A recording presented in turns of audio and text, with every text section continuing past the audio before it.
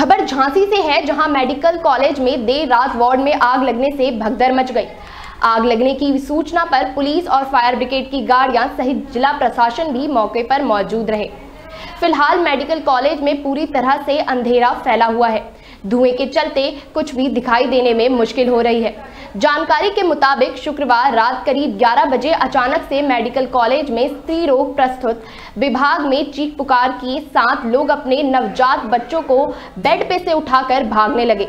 लोग का कहना था कि काफ़ी धुआँ हो रहा है। आग लगी हुई है आपको बता दें कि घटना की सूचना पर तत्काल फायर ब्रिगेड और पुलिस टीम को दी गई इस आगजनी की घटना में मशीन और वार्ड में भर्ती करीब 10 से अधिक नवजात की मौत की सूचना दी जा रही है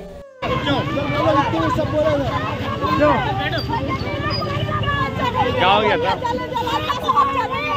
दूर मोबाइल भैया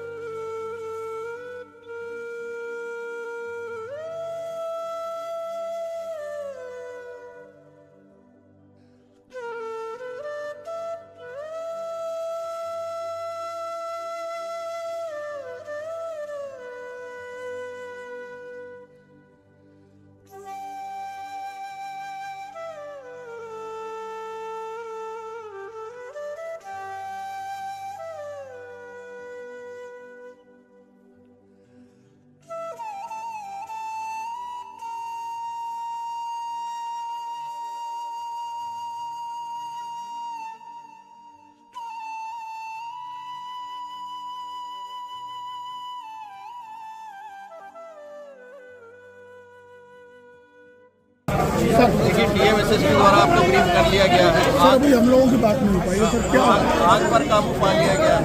सर। और जो भी बाकी जो इंजर्ड है उनको यहाँ की टीम है वे से अभी अटेंड कर लें। सर अभी तक क्या कैजुअलिटी की निकल बताई।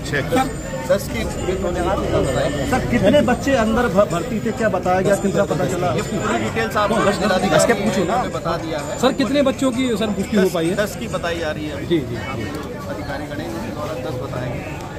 और जो बाकी राहत बचाव कार्य है उसमें ये बता दें आग को बुझा लिया गया है।